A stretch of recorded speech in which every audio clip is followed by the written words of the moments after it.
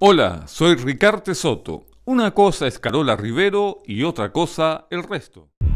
El Departamento de Fiscalización indica que uno de los requisitos que le exigen a las personas que van a solicitar la licencia de conducir es que se inscriban en los registros electorales. ¿A usted alguna vez lo han acusado de cohecho? ¿Qué es lo que es eso? Cohecho. Nadie si quedarse o escapar. Cuando el mundo te pregunta del por qué, por qué, por qué, por qué, por qué da vueltas la rueda.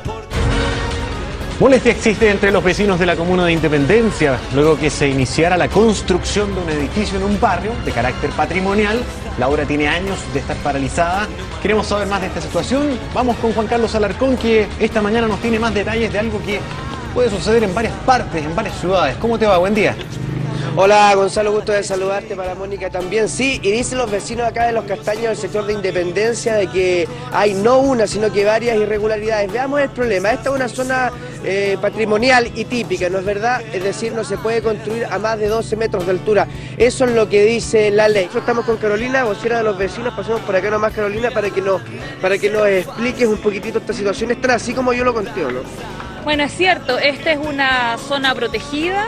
Nosotros estamos aledaño a una zona típica, donde además hay una casa que es monumento nacional. Y este es un barrio que es un barrio protegido desde el año 2008. Aquí no se pueden construir edificios de más de 12 metros. Y esta empresa ha tenido eh, la desfachatez de venir a instalarse a nuestra calle para instalar no solo un edificio, sino que tres, tres proyectos inmobiliarios que contemplan 21 pisos cada uno. Eh, aquí hay alguien que ofrece los permisos y que los otorga, que es la municipalidad. Hay un jefe de obra municipal. ¿Cómo se llama el caballero que otorgó para construir de la municipalidad en un sector patrimonial? El responsable tiene nombre y apellido, se llama Ricardo Poblete y él es el director de obras de la Municipalidad de Independencia, que hasta ahora... Ahora, yo que- me gustaría conversar con. Me gusta me gustaría conversar, si podemos hacer silencio un poquitito, algunas de las señoras que han vivido toda su, su vida acá para ver cómo a ellas les, les influye esto también, porque estas señoras es una, es una zona típica, protegida. ¿Quiénes han vivido siempre ustedes acá? Bueno, ella, yo llevo menos, yo llevo más, es cerca de 30. yo Ya, llegué ¿Quién el ya año 50, 60? Cielo o infierno, lo mismo da,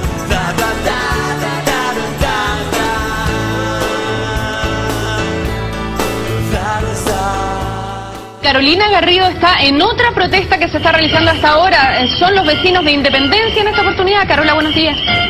Estamos específicamente, Karina, buenos días, en Vivaceta con Inglaterra, tal como tú lo decías, en la comuna de Independencia, es la situación que se vive a esta hora.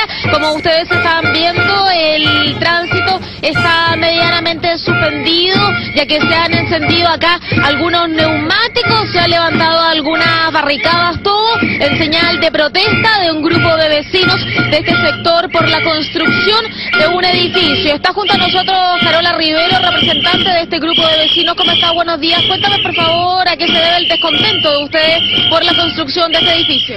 Así es, nosotros estamos reclamando junto al presidente, además de la agrupación Los Castaños, por un edificio que se está construyendo en forma ilegal. Nosotros hemos exigido muchas veces a la Seremi de Vivienda que se haga presente, que nos responda, eh, para que paralicen las obras de construcción y hasta ahora no hemos tenido respuesta. ¿Por qué dices tú, perdón, que es una construcción ilegal?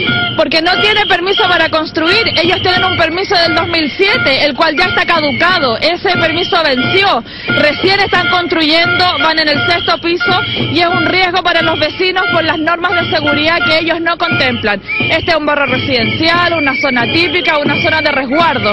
Por esa razón no se puede construir y hemos solicitado en reiteradas oportunidades que la Seremi de Vivienda paralice las obras eh, de construcción y hasta ahora no lo ha hecho. ¿Cuáles son las características de este edificio? ¿De cuántos pisos será? Estas son tres torres eh, que contemplan entre 18 y 21 pisos en una zona en donde no se puede construir más allá de 12 metros. Por lo tanto, esto es una zona protegida, no se puede eh, construir edificios de estas características. Al lado, calle Francia, es una zona típica. Cuando el mundo te pregunta del por qué, por qué, por qué, por qué, Bueno, yo quiero agradecer la visita de nuestros dos amigos, Dioscoro Rojas y Ricardo Soto, quienes nos han acompañado el día de hoy. Desde ahora declaramos a estos dos amigos como embajadores culturales para la Comuna de Independencia y así tirar para arriba esta comuna y darle dignidad. Así que muchas gracias Dioscoro y muchas gracias Ricardo.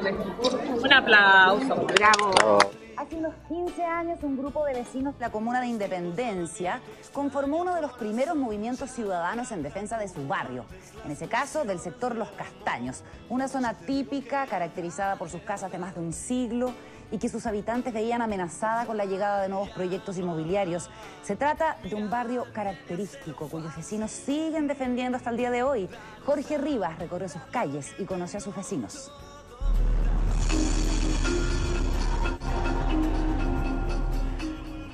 Si no ganamos esta batalla, este barrio desaparece.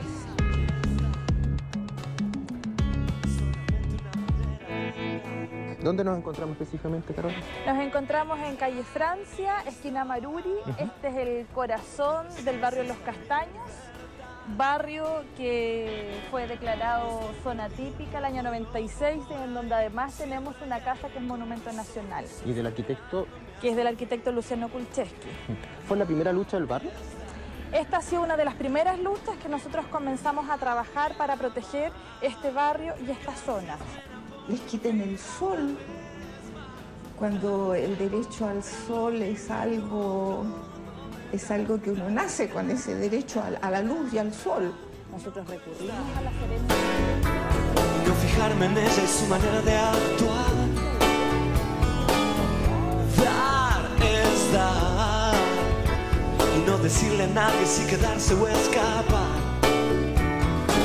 Cuando el mundo te pregunta del por qué, por qué, por qué, por qué, por qué da vueltas la rueda, porque no te detenes.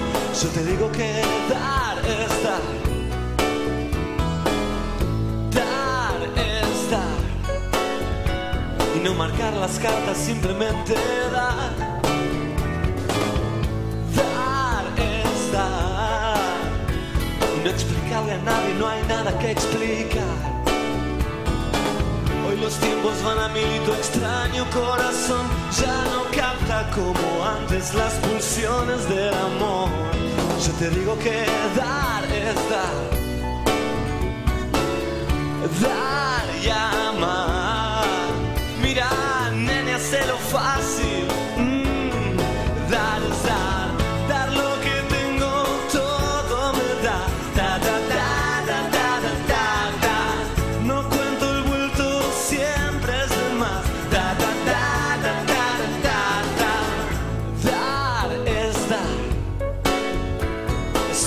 solamente una manera de andar. Dar es dar. Lo que recibes es también libertad. Cuando estoy perdido un poco loco por ahí, siempre hay alguien con tus ojos esperándome hasta el fin. Porque dar es. Dar